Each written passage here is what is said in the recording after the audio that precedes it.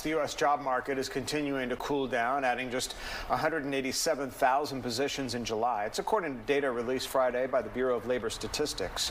It's less than the net gain of 200,000 jobs economists had expected.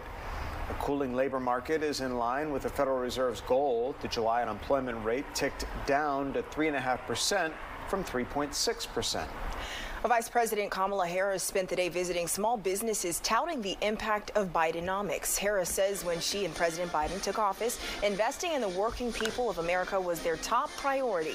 And despite the lower than expected numbers, the July jobs reports reflect just that. More Americans are able to provide for their families and invest in the future. Numbers reflect the point that President Biden has made many times. America's economy is strong and experiencing stable and steady growth. In fact, since we took office, we have created more than 13 million new jobs. Well, Harris also said unemployment is at its lowest level in over half a century. Wages are up. Inflation has fallen 12 months in a row.